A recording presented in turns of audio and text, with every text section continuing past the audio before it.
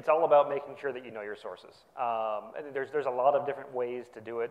One really low-hanging fruit way is, you know, what's the distribution of the image? Is it some random Ubuntu image? Is it a UBI image?